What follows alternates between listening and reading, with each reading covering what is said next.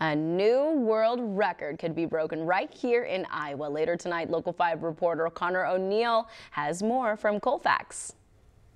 Yeah, Aaron Bartholmey has been at the Colfax Historical Society all day Saturday, him and others counting pencils. Bartholmey believes he can break the Guinness World Record for the largest pencil collection, but out of the world records you could try to beat, why pencils? I'm, I'm just a history buff and I love, most of what I collect is antique pencils. And so I just love the history on them, whether it's the forgotten businesses from small towns or just some of the stuff from World War II. This count will go down to the wire Saturday night. I'll have more on Aaron's story and whether or not he broke the world record coming up in my story tonight at 10.